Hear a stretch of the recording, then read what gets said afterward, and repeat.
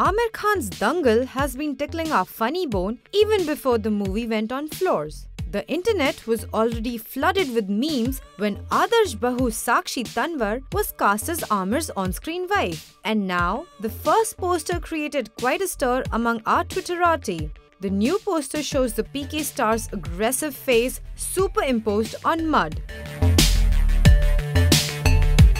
While it is easy to see that the poster implies the grittiness of a wrestler whose arena is the muddy grounds of an akhada, our Twitter folks did indeed have some hilariously creative interpretations to this picture. While some peeps had jokes about Aamir not crying and hiding his tears in the mud, some even said that he has cleverly hidden his abnormally huge ears.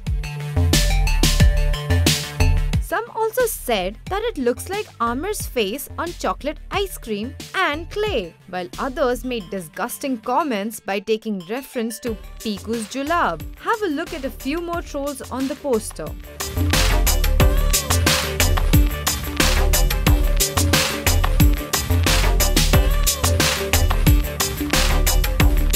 Well, you get the picture, pun intended. For more Bollywood updates, subscribe now to youtube.com slash biscoottv.